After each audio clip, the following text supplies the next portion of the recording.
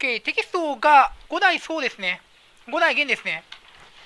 資料集がページ89。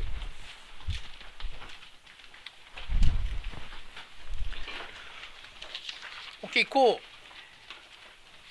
で、唐が907年に滅びました。唐ちゃん死んでくまるなと。で、唐が死んだ後は、戦国時代みたいな感じ、えー、5個16国時代みたいな、5個16国時代みたいな感じになります。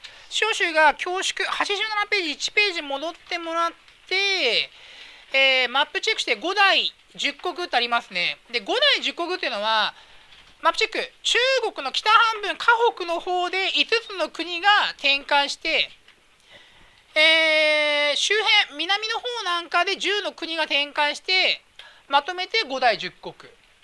まあ、合計15個の国が展開。ちなみに、5個16国時代がありましたから、まあ、似たような数字はね、16国と今は15国ですね。で、家北に展開した国っていうのは、両党新慣州、多分今縄跳びで覚えてきたと思いますが、それぞれハンチンが中央を倒して作った国です。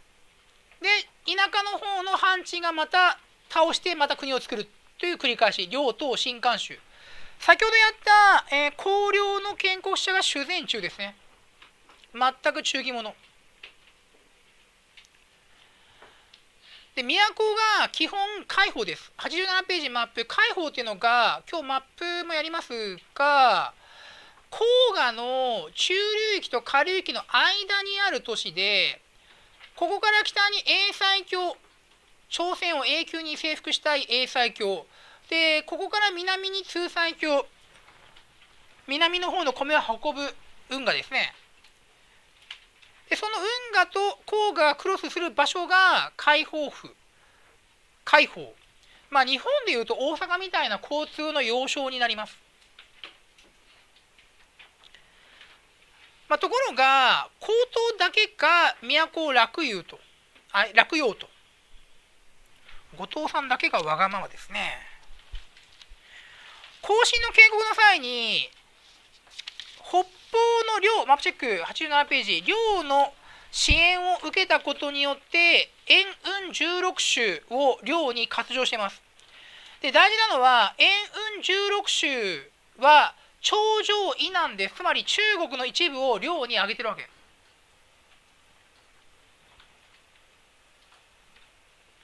こまで質問。はい。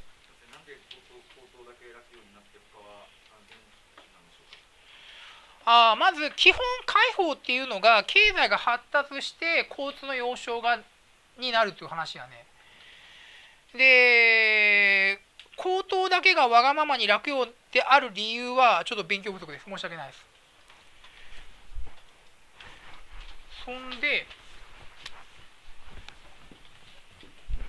古代の時代に日本の場合、平城京とか平安京とか、まあ、盆地じゃん。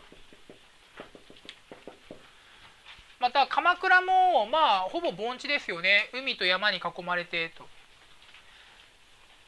で古代の時代はその防衛重視なんですよ。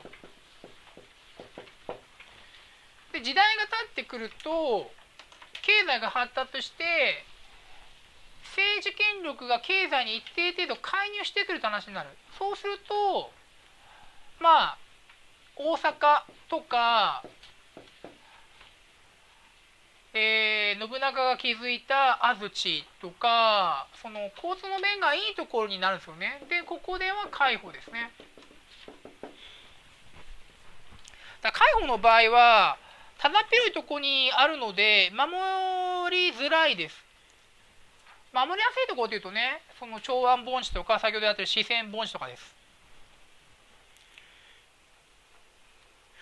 もう一点、永運16州は中国の一部であるまたここ麦も取れるし何より良質な石炭が取れます。石炭が大事になってます。この時代どうして？なぜ石炭が重要になってる？OK 陶磁器を、えー、焼くからその原料として石炭、まあ、石炭を蒸してコークスにするんですがそれが英運16種なんですよね。まあ重要なところを挙げちゃったって話です。ここまで質問。